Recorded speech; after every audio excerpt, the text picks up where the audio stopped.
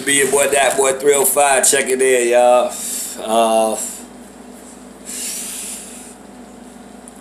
thank God for another one, man. You know, um, coming with another video about Nipsey Hussle. You know what I'm saying? The BET Awards was last night. You know, I don't watch that type of stuff. Um, I just feel like his death is kind of like slightly in vain towards them because, you know, you celebrating the life after someone has passed away that you could have gave him the award when he was alive. This man been doing this thing for many, many years. He was at the awards last year, so why he was um, nominated for the humanitarian award last year, which like a couple years ago that John Legend received it. You understand what I'm saying? But now as he did to keep the, I feel like to keep the to keep the fans and the, you know, the people that love him, keep him calm. You want to give him an award. Give us flowers while we're here. That's what I'm on. But that's another story. Uh, grandma had a beautiful speech last night. I didn't really watch the video, but I watched a little clips on YouTube. And um, her mama kind of, mama kind of kept it 100.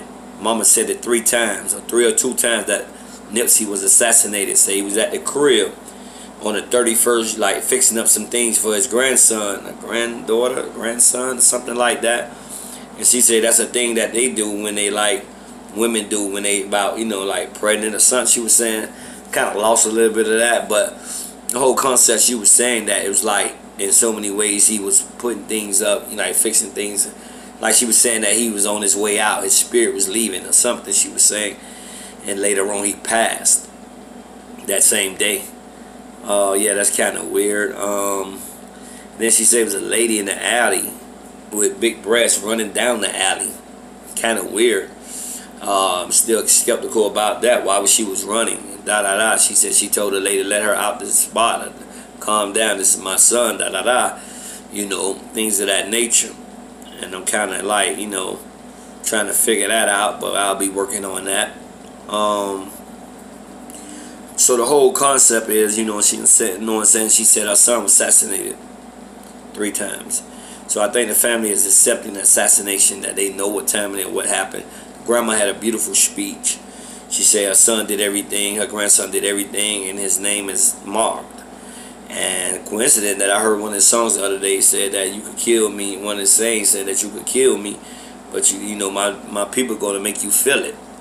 Them not the exact words, but them are similar to the words he was saying that you know like his word his name would live on. People would keep calling their name after his death, and yeah, so far so good. That's what's going on, and I think it's going to continue to go on because I've been on him like two months and some change. I'm still bumping his music. I'm still, greet, you know, still greeting about the situation of what what happened to Nipsey, and I just feel so bad for the family, man. Shout out to money, man. You know what I'm saying? Beautiful sister going through some things. Only have one parent left. Is her mama, and everybody trying to turn her against her mother, and I don't agree with that. Whatever her Nipsey had going on, that's between them. But I'm sure if Nipsey was alive, he wouldn't want his daughter be separated from his mother, from her mother. So we going on saying work on that as well. But I'm not gonna keep y'all long. But uh, I just felt like you know the award should have been given to him while he was alive. Don't give me flowers when I'm dead. Give them to me while I'm alive. You understand what I'm saying? But we gonna do some more, you know what I'm saying, researching and some more investigating and get some more details and bring it to the front work. You know, but Nipsey was had a beautiful spirit, strong spirit. I see where he get the wisdom from his grandma. I know his mama is kind of more, you know, younger, and she, her and Pop had a little son on stage. Pop told her, "Say, do you?" You know, I said everything, everything. You know, marathon must continue.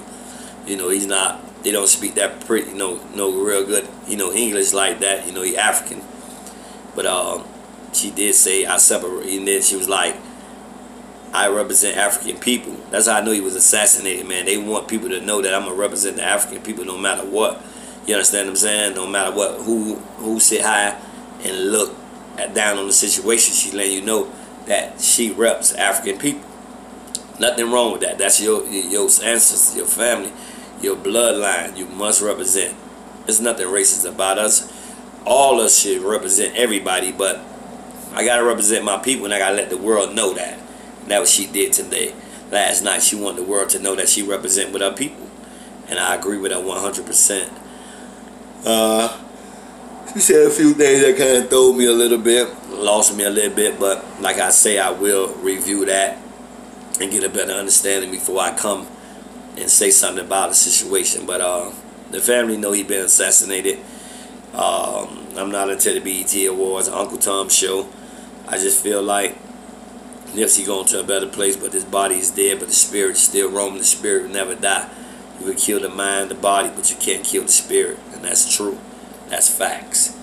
So, you know, at the end of the day, to be your boy, that boy 305, like I say, this came with another Nipsey Hussle video, BET Experience Awards, whatever. But I call it, you know what I'm saying, Uncle Tom Awards, Uncle Tom BET. That's what it is to me, Uncle Tom BET. You feel me? Just using the BET, Black Entertainment, while the Jews behind there making what they want to go and what not to say, what what to do. You understand what I'm saying? That's just crazy, man. But that's another story, like I say. Be your boy, that boy 305. The joint for you, Nip. Rest up, man. I'm to Allah. Bless up, man. But the spirit is really, really roaming these streets right now, boy. We feeling you all over the world. All over the world, man. Much love for you, man. Much love. We feel you. And, uh, you know, one day I know I'll see you, man. I'll see you. Marathon must continue about.